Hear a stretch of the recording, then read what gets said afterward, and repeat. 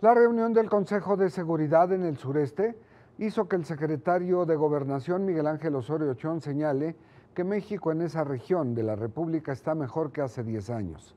Sin embargo, en el norte, concretamente en Tamaulipas, aun cuando la estrategia tiene de cuatro puntos, tres en condiciones positivas, Matamoros se ha convertido en el campo de batalla de la escisión del cártel del Golfo, que peleándose entre sí buscan un nuevo líder luego de la aprehensión del Chapo Guzmán.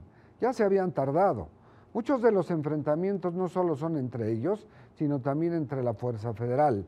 Los empresarios del Estado han pedido al gobierno federal, al igual que el gobernador Egidio Torre, un mayor apoyo, porque lo que se requiere no es responder con fuerza, pero sí con la ley en la mano, y a veces las balas no conocen los artículos de una ley.